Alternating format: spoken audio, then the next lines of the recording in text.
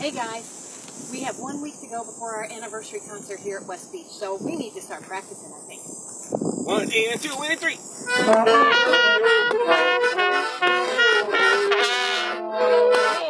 hold it, stop, stop. Oh my gosh, you guys sound awful.